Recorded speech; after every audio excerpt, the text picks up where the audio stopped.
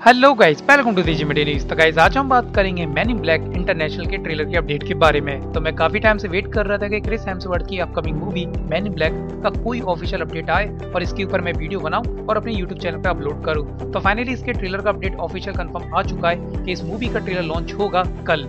और इंडिया में आपको रात में तीन बजे या सुबह आप जब सात या आठ बजे उठोगे तो आपको ये ट्रेलर देखने को मिल जाएगा। और पॉसिबिलिटी ये है कि ये मूवी रिबूट ना हो। मैं उम्मीद ये कर रहा हूँ, क्योंकि मुझे पुराने कैरेक्टर बहुत ज़्यादा पसंद है। और पॉसिबिलिटी हो कि इनका शायद कैम्यू भी हमें देखने को मिले एजेंट जे और एजेंट के का। तो उम्मीद करता हूँ, और फ़र्स्ट ट्रेलर धमाकेदार जाए।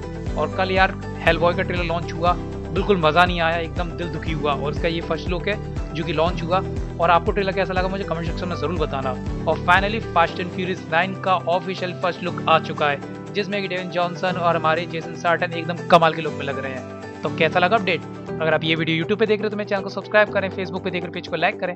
रियली में आपको वीडियो पसंद आए तो प्लीज़ लाइक कमेंट शेयर करो। जो मैंने इस वीडियो को नहीं देख रहे हो, या तो उस पे एजेंट जे के और के के हाथ मारो या पैर मारो, पर और कुछ मत मारना। बाय जा रहा हूँ।